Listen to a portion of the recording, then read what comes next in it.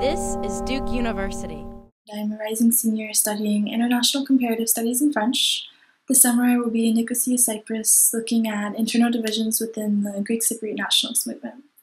So there's been a lot of research that has explored sort of the role of historical representation in the perpetuation of tensions between the Greek Cypriot and Turkish Cypriot communities.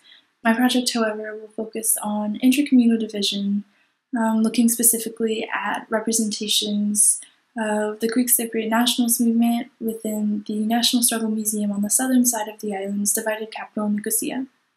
So I will analyze the artifacts and text on display at the museum in order to kind of understand the parts of history that are emphasized and those that are omitted, as well as to understand the political motivations behind such a narrative.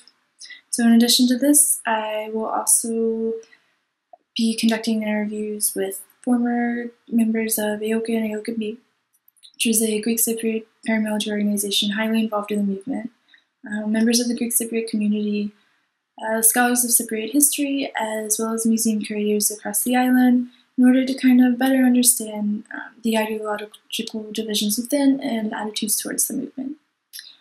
So, in addition to that, I will also be working throughout the summer as an intern at the Association for Historical Dialogue and Research, um, which is located in the United Nations buffer zone between the Greek and Turkish Cypriot communities, and which is an organization working towards the advancement of historical understanding in relations to processes of reconciliation in Cyprus.